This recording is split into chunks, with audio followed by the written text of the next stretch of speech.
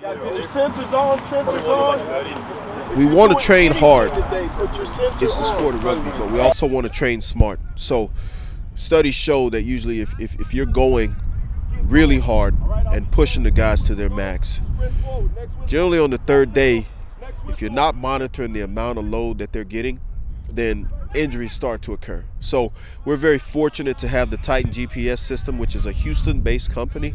They give us units, as you can see some of the guys wearing the units right now, that allow us to track their total load, i.e. the amount of distance that they cover, the amount of times that they spend over three meters per second, five meters per second, nine meters per second. We can set a baseline on their speed. Uh, we can see how many cuts they make, how many accelerations they make, and uh, it also tells us exactly where they are, okay, and where they spend most of their time. So if a back row guy is supposed to be rolling and coming around the backside to help out and he's not, then we can see that, and that, that's pretty important. So I think the most important thing that we have right now is the guys are working together. We're playing a lot of small-sided games that require them to communicate and uh, also run and cover a lot of ground. And uh, that's really good for building synergy. And they're working really hard on that. And they're learning how to work together and they're learning each other's nuances so they kind of know what they're going to do once the match and, and end season comes along. All right, another way to heat up your home is by inviting over a few rugby players, right? Did I actually say that? Yes, I did. Up next, meet the stars of the Houston SaberCats, our rugby.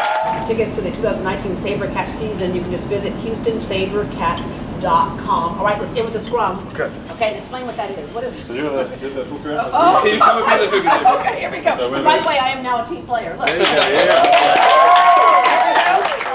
gonna bind up. So, the guys Okay. got the ball. Yeah.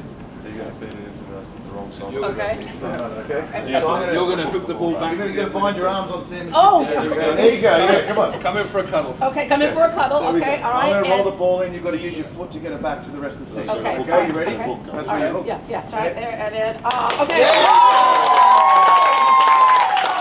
Guys, we hope you're having a great time here in Houston. We're glad that we have another pro team here to, to cheer for. Sports teaches us so many great lessons, and so thank you very much. Thank you. And thank you all for joining us. Have a great day, everybody.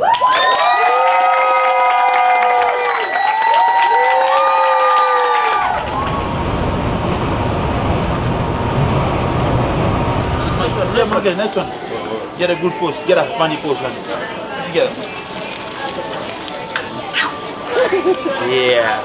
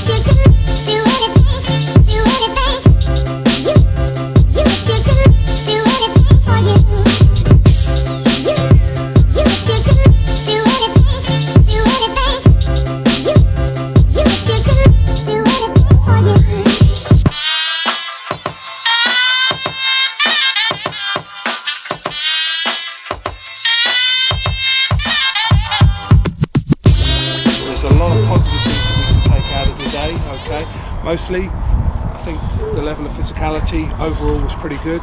Okay, there was a lot of a lot of a lot of hard work um, um, which we asked for there today. Okay, and I thought um, there was no small measure of skill in parts. And what was really really pleasing, okay, was uh, when we mixed up different positions, guys coming in that hadn't played for the for the Cats before and asked you to step up to the plate. You did that and I think that's a credit to the work that you've been doing over the last uh, over the last wee while, on and off the pitch. Okay, that it was fairly seamless. Okay, and it speaks a lot about the depth and the volume that we're building here and the culture we're creating together.